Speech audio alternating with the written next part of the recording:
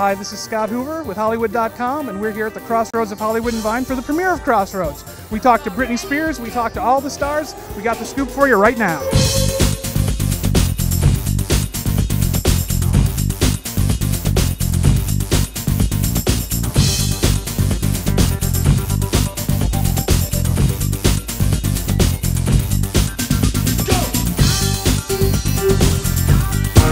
Far as the criticism goes, as far as the critics are concerned, if they like the movie, I'm gonna be really worried because everything that the critics like, I hate, and everything that they hate, I like. So as long as my fans can go see the movie and be inspired by it, that's my initiative with this. Behind closed doors, she's a cool girl. You know what's so cute? Her and Justin together, they're so adorable and they're so lovey-dovey. I'm like, oh.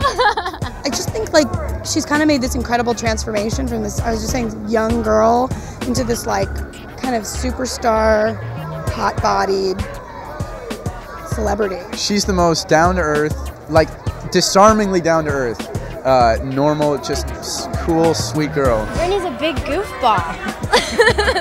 Honestly, like she's such a goofy girl. She's such a character. Like she's great. Well, she's a very gifted girl. There's no question, and she's not bad to look at either. And she, but she's, you know, she's a nice gal. You'll see. She's very sweet. She is what she, what you see is what you get.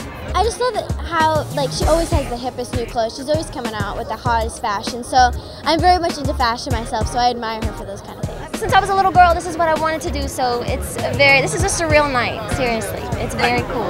I think she's gonna do a great job. You know, already, you know, I've, I've seen some of the stuff that she's done from like Saturday Night Live and stuff, and she's hilarious. So I think Britney's gonna do a great job. It's like now is when you can sit and relax and go, okay, you know, whatever they have to say, whatever they have to criticize, it's it's beyond my control. I just know that I did great and we did our best and it was cool. Yeah, I can't wait to watch the movie again. I love the film, so yeah, I'm excited. They were screaming Justin, Justin over there. These throngs of fans screaming Justin. So I was like, hey, maybe, uh, maybe Ed's catching on.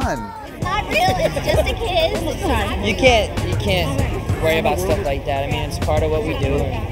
Doesn't make anybody feel great, but it's just it is what it is.